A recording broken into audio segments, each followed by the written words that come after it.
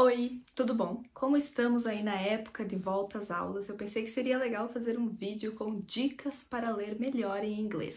Eu já fiz um vídeo aqui no canal falando sobre algumas dicas para estudar inglês e hoje vão ser dicas mais específicas para a leitura.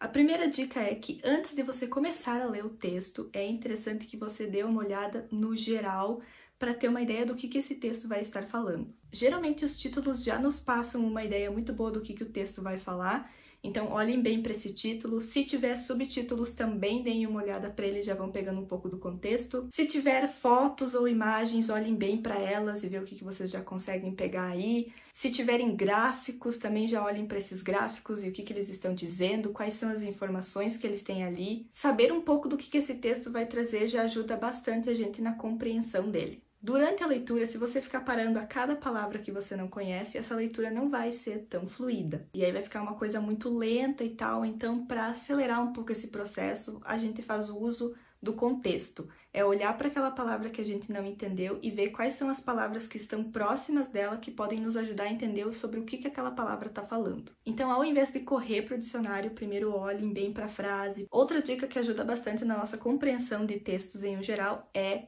fazer anotações. E quando você fizer essas anotações, elas não precisam ser frases completas, pode ser só uma palavra ou duas palavras juntas que vão lhe ajudar a lembrar sobre o que você leu. E também nessa hora das anotações é legal fazer um bom uso de marcadores de cores diferentes. Uma cor que você vai usar só para sublinhar sobre as ideias principais do texto, outra cor para falar sobre as ideias secundárias e outra cor para, sei lá, nomes e datas importantes. Ou qualquer outra organização que lhe ajude né, nessas cores diferentes que você vai usar. E depende muito de como você gosta de fazer essas anotações, né? Uma ideia é fazer aqueles esquemas que ligam as ideias principais do texto, tipo aqueles mapas mentais ou se é um texto que fala sobre acontecimentos de forma cronológica, você pode fazer uma linha do tempo. Se é um texto que apresenta dois lados de alguma coisa, é interessante você fazer um T-chart.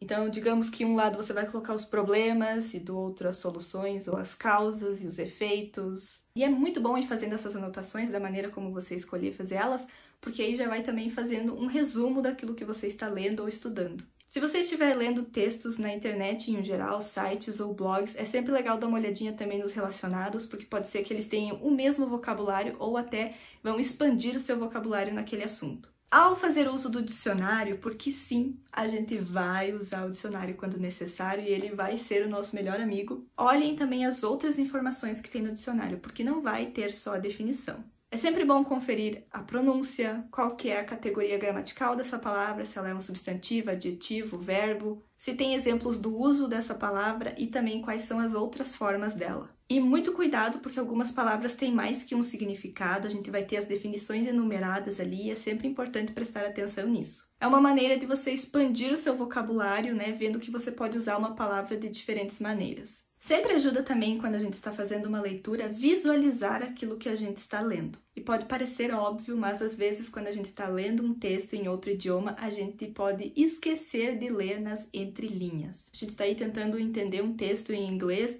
e ainda tem que ir pegando pistas do que o autor está tentando dizer. Já que falei do autor, é muito importante prestar atenção também na intenção do autor com aquele texto. Ajuda muito na compreensão de um texto a gente ver se o autor está explicando alguma coisa, se ele está nos passando uma informação, se ele está passando a opinião dele, se ele está tentando nos vender alguma coisa ou se ele está só nos entretendo. Também ajuda a gente perceber o tom da escrita, se é uma coisa mais séria, mais divertida, para ser engraçada, para ser leve. E é claro que isso também depende de para quem que é esse texto, qual que é o público. Quando a gente identifica essas coisas, a nossa compreensão sobre o texto vai melhorando também. Bom, gente, essas foram as minhas dicas para que vocês façam melhores leituras em inglês. Eu espero muito que vocês tenham gostado e que eu tenha ajudado de alguma maneira. Deixem aí nos comentários alguma outra dica que vocês ou alguma coisa que super funciona para vocês entenderem melhor um texto. Vamos compartilhar aí diferentes maneiras de estar estudando, lendo e compreendendo melhor. Muito obrigada por assistirem, não se esqueçam de curtir o vídeo, de se inscrever aqui no Xícara Quente caso vocês ainda não sejam inscritos